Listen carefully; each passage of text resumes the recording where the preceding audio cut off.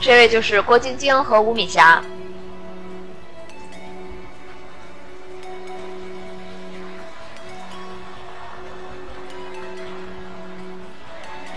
今天参加女子双人三米跳板的一共有五对选手。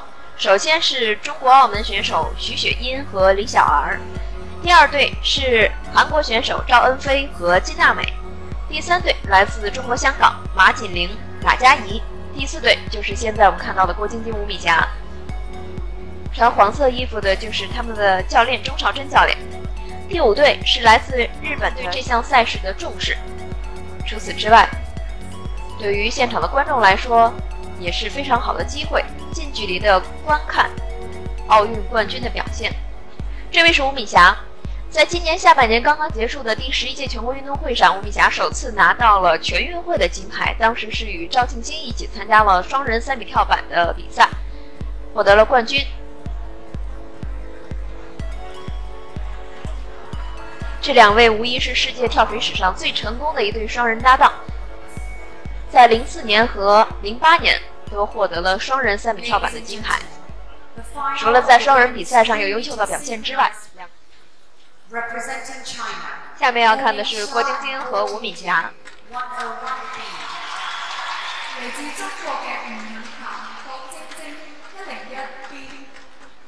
同样是向前跳水，这位是吴敏霞。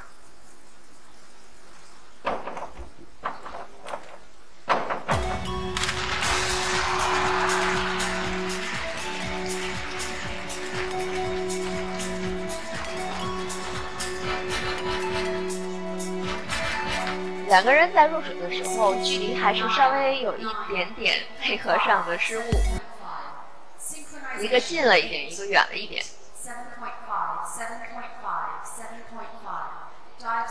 霍晶晶走板的时候，看来是稍微出现了一点点问题。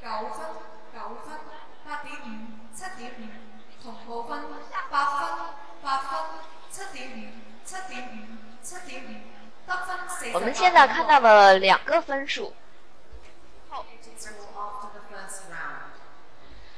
日本选手浅田梨沙和马原由佳拿到了四十九点二零分，与他们并列的是马嘉怡为中国香港队夺取的。来看郭晶晶和吴敏霞，上一跳排在了第三位。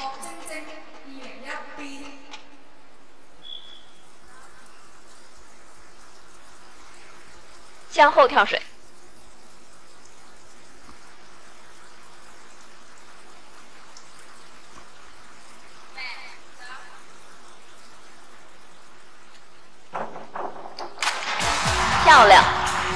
棒的一个动作。两个人不管是个人质量，还是配合的一致性，都达到了极高的高度。现场的技术分刚刚听到了有九点五，同步分有了十分。单从运动成绩来看，这两位。无疑是现役的运动员当中最为出色的。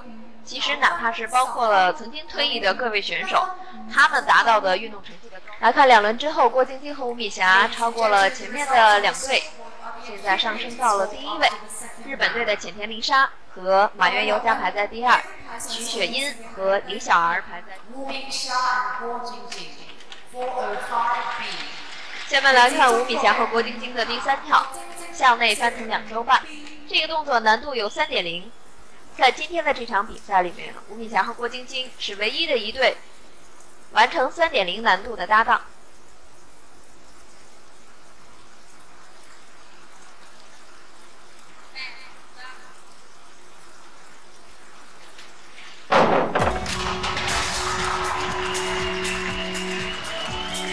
吴敏霞这个动作完成的还是非常漂亮的，郭晶晶确实是经验老道了，对于自己。的调整能力和掌控能力非常的强。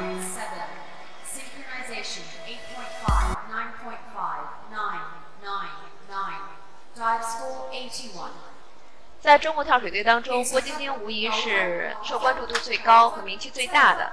实际上，吴敏霞同样也是一名非常出色的运动员。吴敏霞这名选手呢，她的身材线条非常的优美，动作细致，而且非常的细腻。从观众的角度来看，他的动作是非常具有观赏性。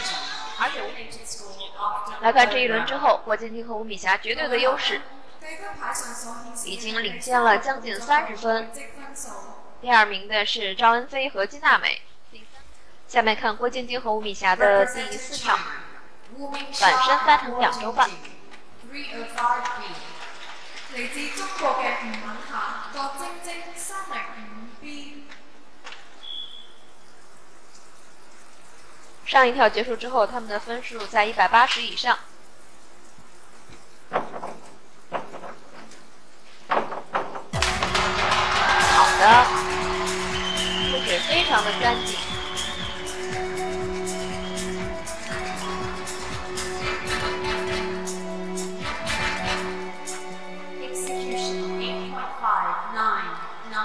所以说，今天这对搭档为这场女子双人三米跳板的比赛增色不少。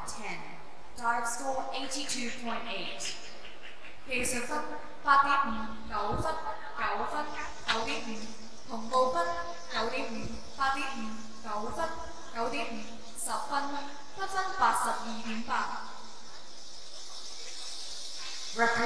八十二点八零，这个动作的满分是九十分。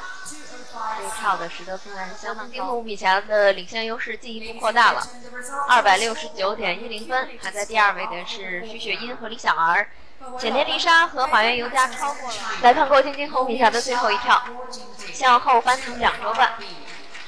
来自中国嘅吴敏霞、郭晶晶，二零五 B。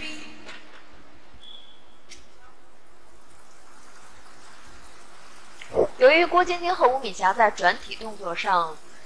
他们这个自己成套的动作是不一样的动作，所以他们在双人比赛当中就没有办法选择五组的转体。漂亮，非常棒的一个动作。这些动作是吴敏霞在三人的这个成套动作当中非常拿手的，两个人今天在双人的配合上同样也是做的非常的完美。刚刚我们提到，他们在双人比赛里面，由于五组练习的是不一样的动作，所以呢，他们就是在这四个动作里面选择了一组和两个二组，一个三组，一个四组。八十八点二零分，又是一个接近满分的分数。这些动作的，来看一下最终的成绩。郭晶晶和吴敏霞三百五十七点六零分获得了冠军，中国澳门队的徐雪茵和李小儿获得了银牌，获得铜牌的是日本选手浅田梨沙和马原由佳。